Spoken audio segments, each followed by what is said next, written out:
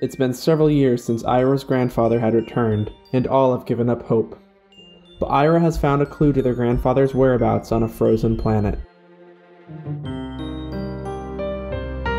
Eira, Echoes of Adventure is a casual adventure game where players use their powerful Galactivac to solve spatial puzzles, interact with curious alien wildlife, and restructure the world to follow their grandfather's legacy. The Galactivac allows the player to interact with the world in amazing ways. Of course, they can suck up resources, gold, gems, they can repair structures, smash objects, but most importantly, they can terraform the world.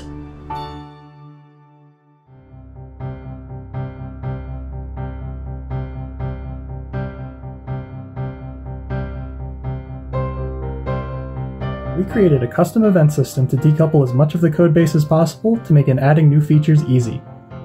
We made tools to make our repairable objects have detailed custom properties for our designers to play with.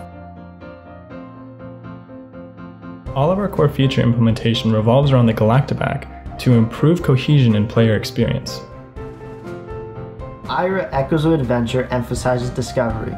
We give the player upgrades, allowing them to go back to previous levels and explore new areas.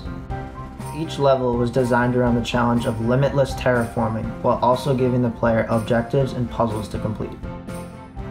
One of our greatest challenges for this project was developing an art style cohesive with our terraformable mechanic.